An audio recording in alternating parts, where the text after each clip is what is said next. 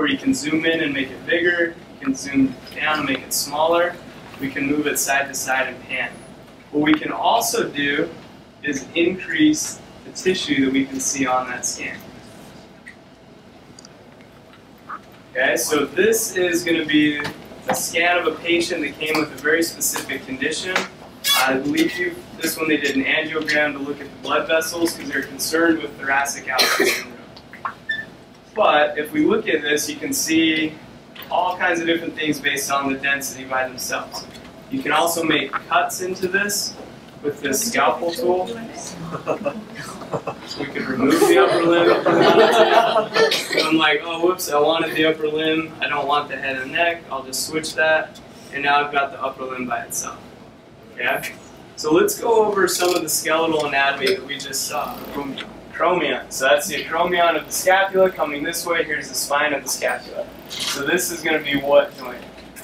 The AC joint. So we have the AC joint, the SC joint. Pull this back up. Now you can also see that the scapula is rotated quite a bit in this abducted position. So that bony landmark here is what we were just talking about with pec minor and the short head of the bicep going to it. What is that? Coracoid process. So the coracoid process, this would be the glenoid fossa. Here's the head of the humerus. So we now can see that that glenohumeral joint allows for a lot, a lot of motion. Okay, when the actual humerus starts to hit the acromion, that's what's going to limit that motion. So that's the proximal end of the humerus. If we get this, get rid of that head again a little bit. And now we're looking at the distal end of the humerus here.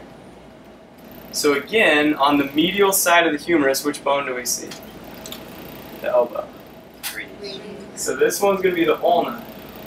The lateral side is going to be the radius. Okay, so remember that the radius head, the radial head looks like a golf tee, the ulna is kind of U-shaped.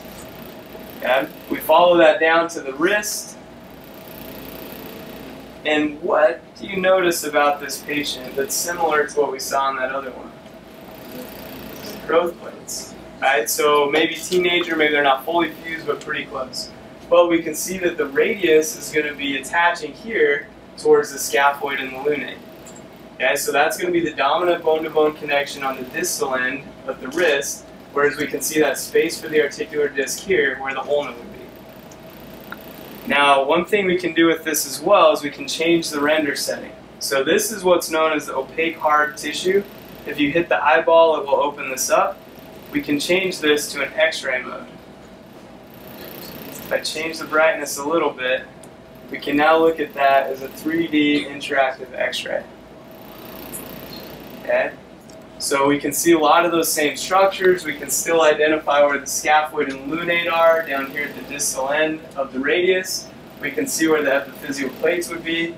Now we can see this our orientation, we'll zoom in a little bit, of the bones articulating here at the elbow. So the olecranon fossa is the depression in the posterior distal end of the humerus. The olecranon process of the ulna fits in that gap. So what's limiting extension is when these two bones meet.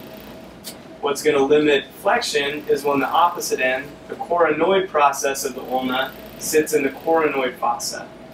But you can see here that there's actual. If we follow the attachment of the triceps distally, what bony landmark is that going to attach to? Right there. So that's the olecranon process of the ulna. Right? We can also see the basic grouping pattern for the forearm flexors here that are going to start medially with the tendons coming into the palm of the hand, whereas the extensors would start laterally and then come back to the dorsum of the hand or the back of the hand. Yeah, so we'll see this more. We're going to take a look at that when we talk about